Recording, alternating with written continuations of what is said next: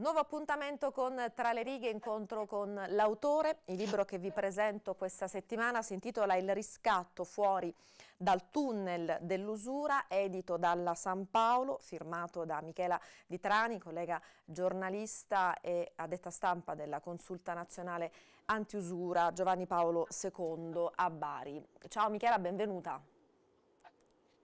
Ciao Paola, grazie a voi per avermi chiamata, grazie. Ti do del tu perché siamo colleghe.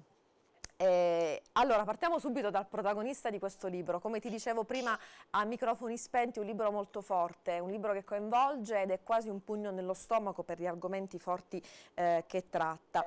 Protagonista del tuo libro è una storia vera, ecco, e eh, Riccardo, a cui l'usura ha preso tutto, ha preso anche l'anima. È la storia di un uomo che si è trovato nel tunnel dell'usura e che grazie alla Fondazione Nazionale Antiusura di Bari ne è uscito. Allora, Michele, andiamo per ordine, ehm, riassumiamo i passaggi fondamentali della storia.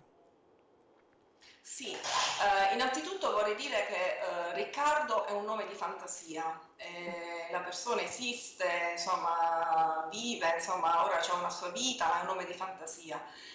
lui ci tiene insomma all'anonimato, a restare anonimo. Riccardo è, è un giovane di 25-26 anni che nel 2002 aveva un lavoro precario, prendeva 500 euro al mese sì e no, e con una fidanzata eh, da 10 anni e decidono di sposarsi.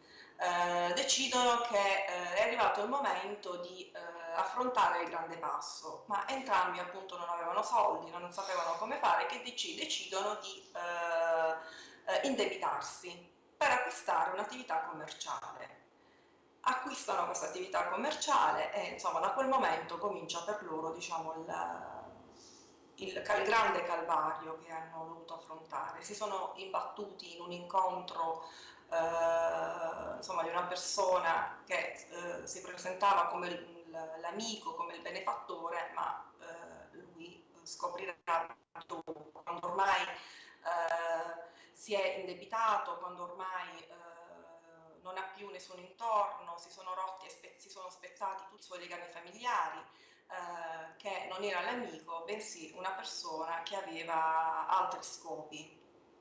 Esattamente. Insomma, voglio, sì, non mi voglio dire insomma, quali erano, perché insomma, eh, in questa attività commerciale erano installate anche delle slot machine, eh, quindi sembravano, allora lui incontra vari personaggi, i protagonisti sono diversi e sembrano degli incontri casuali, ma non lo sono, c'è, eh, una regia alle spalle eh, si trama alle sue spalle, lui incontra i vari, i vari stadi della malavita locale dal, dal, semplice usuraio che ha il compito appunto di eh, piazzare il delano sporco della, della, della, malavita, sino ad incontrare anche il capo clan eh, appunto di una, banda, di una banda locale. E qui lui capisce che eh, si era imbattuto in una situazione più grande di lui. E, e, come lo capisce? Quando ormai era diciamo, allo stremo delle sue forze, delle sue energie, eh, si ritrova a Monte a Sant'Angelo perché lui voleva cercare eh, un po' i ricordi di sua mamma. Lui mentre era vittima di usura eh, è morta la mamma e non ha avuto nemmeno il tempo di di, pensare, insomma, di realizzare quello che, che gli era successo, perché eh, giusto una parte del libro vi posso citare, lui chiama il suo suraio e gli dice che non poteva presentarsi all'appuntamento per portargli insomma, la, la, quota di soldi perché aveva il funerale di sua madre. Eh, e lui dall'altra parte gli risponde eh, non mi interessa, eh, se tu non mi porti quanto, quanto mi devi, eh, ai tuoi cari, ai tuoi figli potrebbe succedere qualcosa, insomma. Ecco, poi si gioca anche eh, sugli affetti familiari, sì. si gioca anche in questa situazione, ecco questo risvolto psicologico. Tu hai citato Monte Sant'Angelo, ehm, mi viene anche sì. appunto da, eh, da, ricordare come mh, nel tuo libro emerge chiaramente che l'usura ti allontana da tutto e, eh, e, da tutti, ti allontana anche da Dio. Questa persona ha perso anche la fede, ha perso ogni tipo di riferimento e c'è quel passaggio molto forte, questo appunto che stavi citando tu. Lui preso dalla disperazione decide di recarsi a San Giovanni Rotondo, passando per Monte Sant'Angelo, lì c'è un incontro ehm, anche inaspettato e forse proprio lì poi decide o chi lo sa, insomma non, non ricordo bene, lì decide di chiedere aiuto e di rivolgersi a voi, a Monsignor D'Urso, alla, fondazio alla Fondazione Nazionale Antiusura. Lì scatta qualcosa?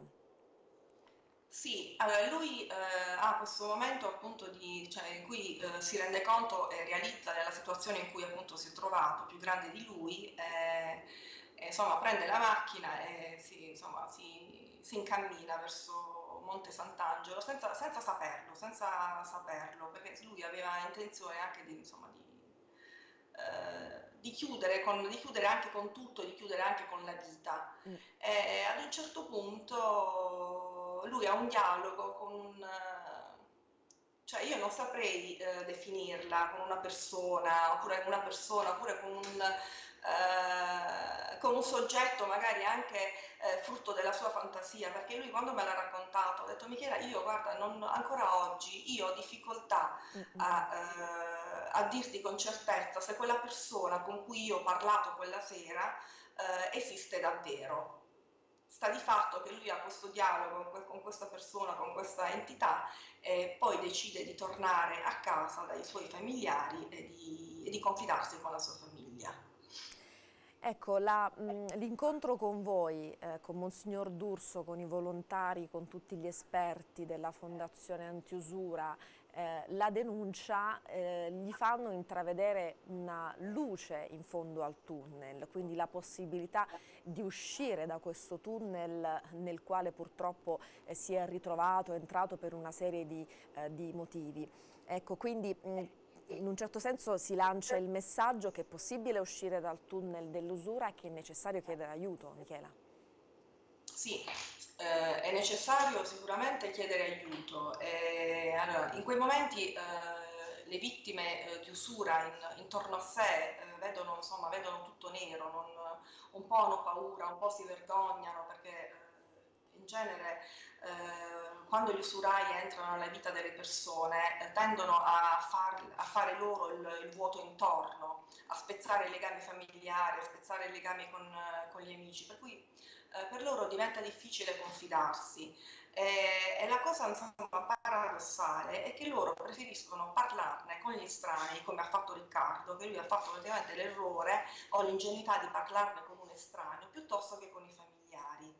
Mm. E lui in quel momento capisce che eh, le persone eh, con cui doveva eh, confrontarsi e confidarsi erano i suoi, i suoi, familiari, la sua famiglia.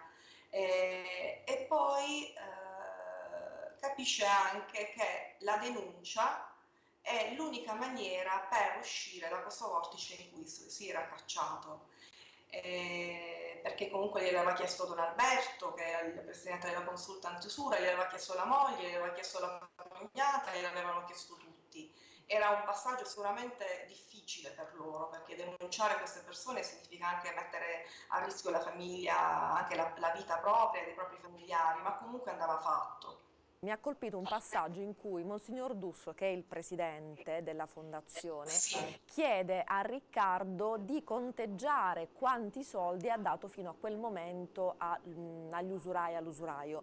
E lui doveva restituire, adesso non ricordo bene la cifra, 35 mila euro, giù di lì, ne ha distribuiti non il doppio, il triplo, cioè una cosa assurda, quindi aveva già in un certo senso ecco, ripagato il, il prestito.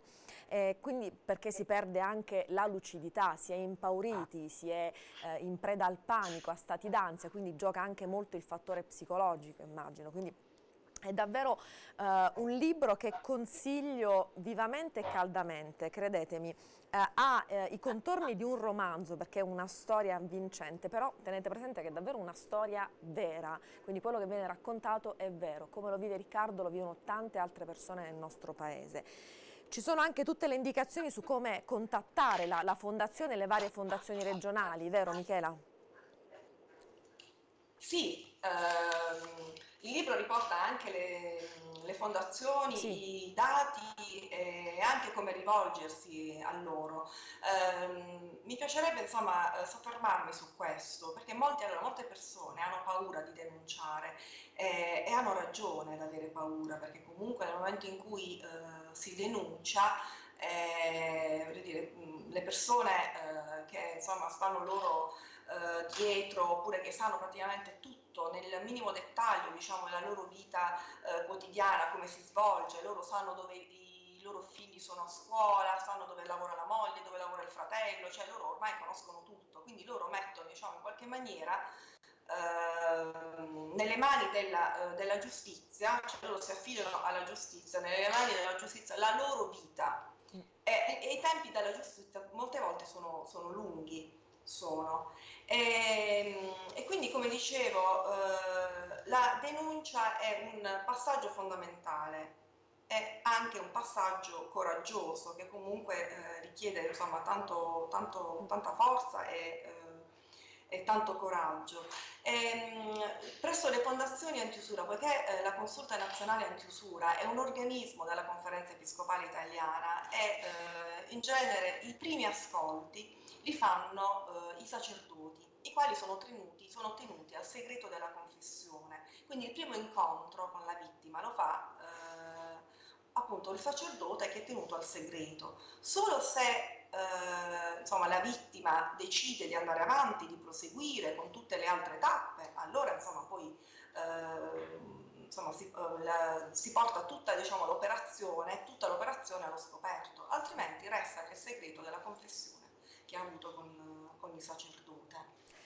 Questo è un argomento davvero molto vasto, eh, Michela, potremmo, eh, di cui potremmo parlare per eh, un'ora intera sicuramente, anche perché poi questo fenomeno è aggravato dal gioco d'azzardo, ma davvero dovremmo fare un'altra puntata interamente dedicata a questo. Intanto vorrei davvero ricordare il titolo del tuo libro, lo stiamo inquadrando in questo momento, si intitola Il riscatto, firmato da Michela Di Trani, sottotitolo Fuori dal tunnel dell'usura, edito dalla San Paolo. Grazie eh, davvero di cuore per essere stata con noi, un saluto a Monsignor D'Urso e un saluto a tutti quanti i collaboratori della Fondazione Nazionale Antiusura Giovanni Paolo II a Bari. Grazie ancora Michela. Grazie a te Paola e grazie a tutti voi Padre Pio TV. Grazie.